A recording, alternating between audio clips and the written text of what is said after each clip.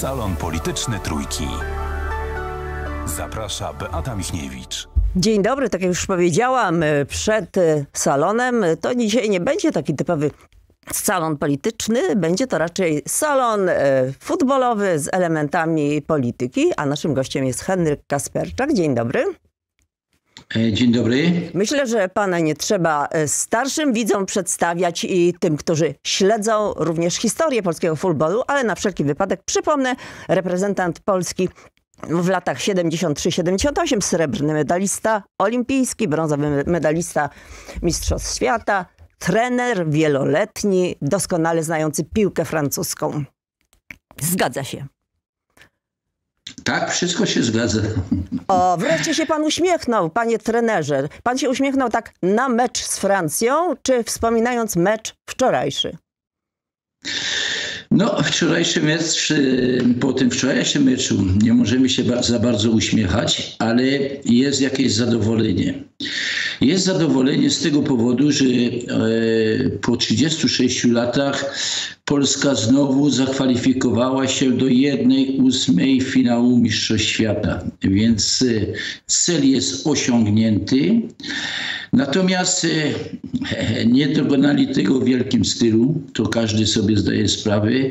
No, przeżyłem chyba tak samo jak inni fani futbolu e, ten mecz z ogromnym, e, można powiedzieć, bólem i cierpieniem. Rzeczywiście... Proszę powiedzieć, panie trenerze, kogo by pan zrugał za ten wczorajszy mecz, gdyby pan trenował tę reprezentację?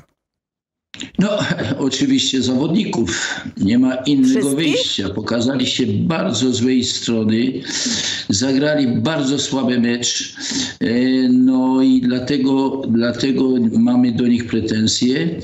Może z wyjątkiem jednego zawodnika, który nazywa się Wojciech E, oczywiście Szczęsny, który naprawdę uratował zespół Polski od jeszcze większej porażki, co by spowodowało może to, że zespół Polski by się nie zakwalifikował. No ale mieliśmy dużo szczęścia. E, szczęścia właśnie i wracam tutaj do tego naszego kochanego bramkarza dzisiaj. Wszyscy go e, uważają za bohatera e, tych mistrzostw świata, bo obronił dwa rzuty karne, bardzo ważne w ważnych momentach i to też doprowadziło do tego, że osiągnęliśmy ostateczny cel, czyli awans do jednej ósmej finału mistrzostw świata. A ma pan jakieś wątpliwości może... co do tego wczorajszego karnego? Karnego, y, bo komentatorzy w Polsce no, mieli troszkę wątpliwości.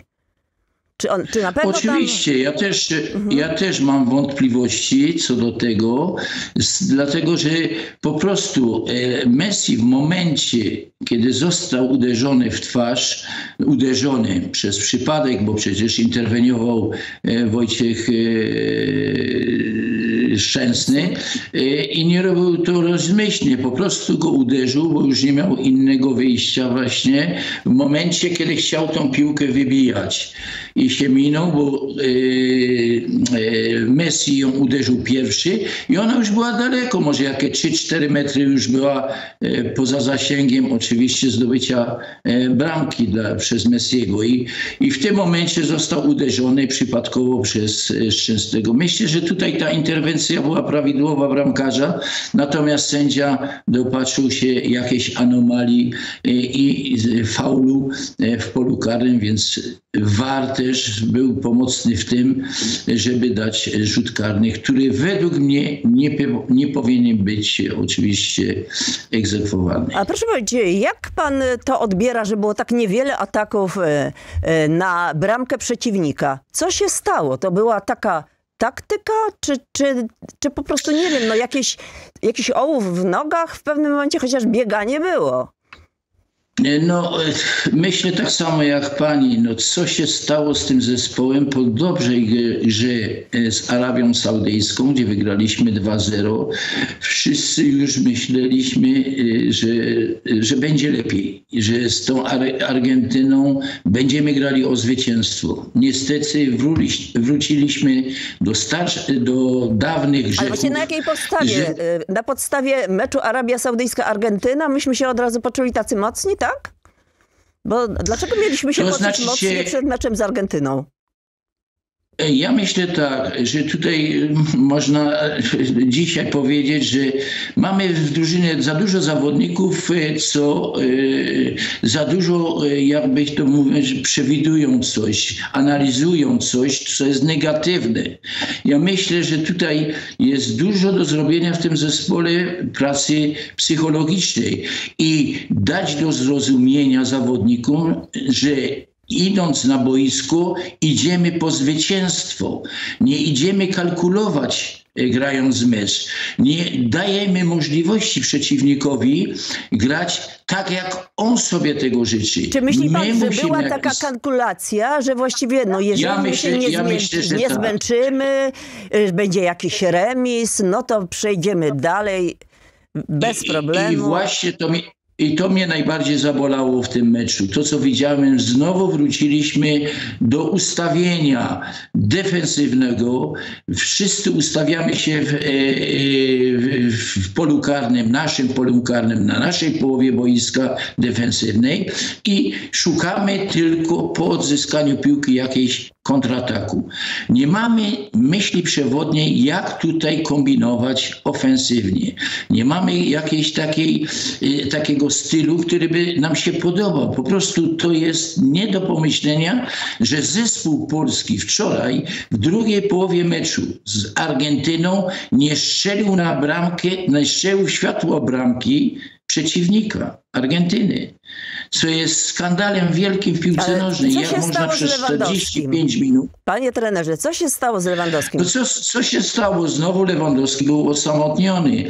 Dobra była o, oczywiście e, metoda na, na, na, na, e, na e, Argentynę w momencie, gdyby, gdyby, gdyby zostawił tych samych zawodników, którzy rozpoczęli mecz z Arabią Saudyjską, czyli wzmocnić atak z takim zawodnikiem, jak w tej chwili jest Milik, bo Milik dużo wniósł i pomógł dużo Lewandowskiemu, żeby po prostu e, lepiej on się wykazał, bo to jest, to jest zawodnik światowej klasy. Przecież wiadomo, że w momencie, gdy będzie, e, będzie dostawał piłki w, w polu karnym, e, to na pewno jest niebezpieczny i będzie strzelał bramki. Niestety znowu wczoraj był osamotniony. Cofnęliśmy się bardzo głęb- głęboko do naszej strefy defensywnej i robił to nawet i też Lewandowski.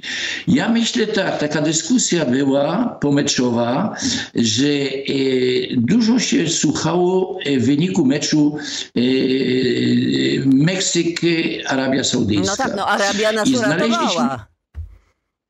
No właśnie, tutaj to, to chcę właśnie wyjaśnić, że za dużo żeśmy byli y, y, w relacji z, z tym meczem, słuchaliśmy wyniku i byliśmy w sytuacji takiej, że będzie decydowały, będą decydowały o naszym awansie do 1-8 finału Mistrzostw Świata e, e, kar, żółt, e, żółte kartki, tak. I wtedy w momencie, kiedy zawodnik Krychowiak dostał tą żółtą kartkę, zależ, zaczęliśmy kombinować i kalkulować. Więc żeśmy się cofnęli, nie, nie, nie, nie atakowaliśmy przeciwnika, bo baliśmy się dostać jednej żółtej kartki dodatkowo i w, tej, w tym e, wyniku, jaki był, bo Ale Meksyk przepraszam, prowadził... panie trenerze, pan myśli, że poza przerwą też zawodnicy mieli jakieś informacje, jak to jest tam z, to, z tym Meksykiem i Arabią Saudyjską, że oni sami też kalkulowali, czy, czy trener im podpowiadał cały czas? No ja myślę, że tu jest problem mentalny, że oni kalkulowali. To jest niemożliwą rzeczą, żeby w takim stylu grać e, i cofnąć się całkowicie, e, nie grać e, normalnie z myślą przewodnią, atakować przeciwnika, prawda, dobrze grać piłką. Myśmy po prostu zostawili całkowicie pole wolne przeciwnikowi, który sobie rozgrywał spokojnie piłkę. No i to, co powiedziałem, mieliśmy takie szczęście, że mieliśmy tak świetnego bramkarza, bo ten wynik mógł być, mógł być inny, ale nie jesteśmy zadowoleni z tego, co się stało. Panie trenerze, a co by pan poradził y, Michniewiczowi na mecz z Francją? Jakie są słabe strony Francuzów? Y, W co można uderzyć? Z której strony? Kogo obstawiać? Pewnie trener to wie, ale pan może wie lepiej. Na pewno pan y, bardzo Ja- dużo wie na ten temat. Oczywiście, ja, ja myślę jedną rzecz, żeby po prostu nasi zawodnicy zrozumieli i mieli zaufanie do swojej jakości gry. Nie patrzmy często na przeciwnika. Oczywiście to, to będzie mecz trudny, bo to jest mistrz świata, tak?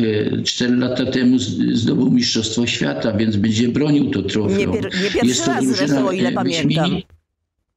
No oczywiście. Ja, ja, ja zawsze uważałem, że lepiej liczyć na, własne, na własną siłę, na własną grę, niż na przeciwnika. Nas przeciwnik oczywiście interesuje w momencie, żeby myśmy w tym układzie, w tej opozycji, jakiej mamy naprzeciw, żebyśmy e, dawali więcej naszej jakości gry. My się ustawiamy do gry w zależności od gry przeciwnika.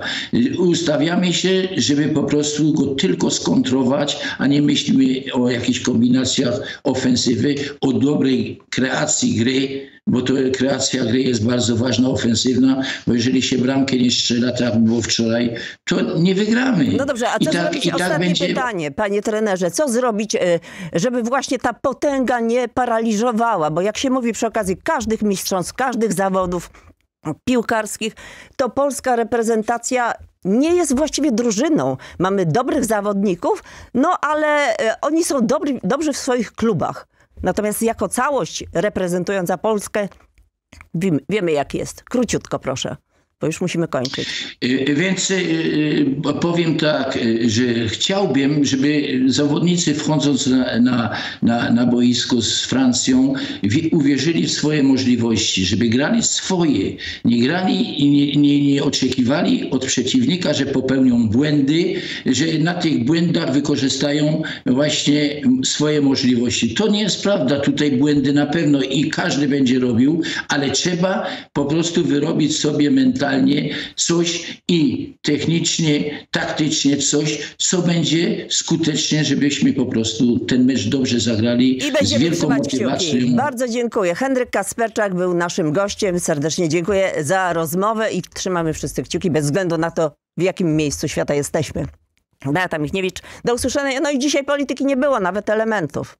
Do widzenia.